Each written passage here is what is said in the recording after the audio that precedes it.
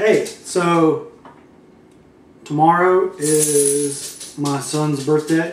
I wanted to wish him a happy birthday.